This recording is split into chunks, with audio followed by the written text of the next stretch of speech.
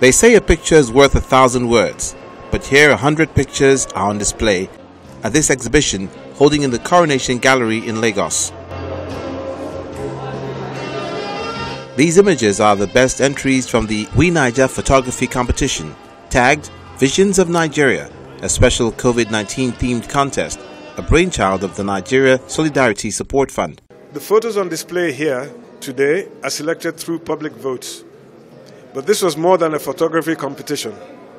It has been a major awareness campaign to focus attention on how people are coping and living amidst a global pandemic. The pictures here reflect the reality of people in these challenging times. Selecting the best 100 did not come easy.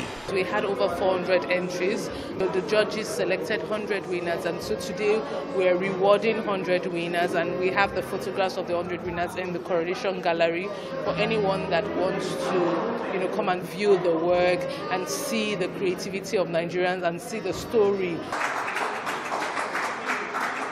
Now the top three winners take center stage. The third prize winner takes home 200,000 naira. The second prize is 300,000 naira, while Michael Ogbochukwu is the winning entry with a 500,000 naira reward. It is like an empowerment for me to finance my business without actually going through the rigorous process of applying for loan. Come on, which bank will just give me 500k just like that? Without collaterals and stuff. And there's also an auction of entries on Bonhams Auction UK. There were more international bidders. I don't know if they were Nigerians, but certainly there were several more people bidding from across the world.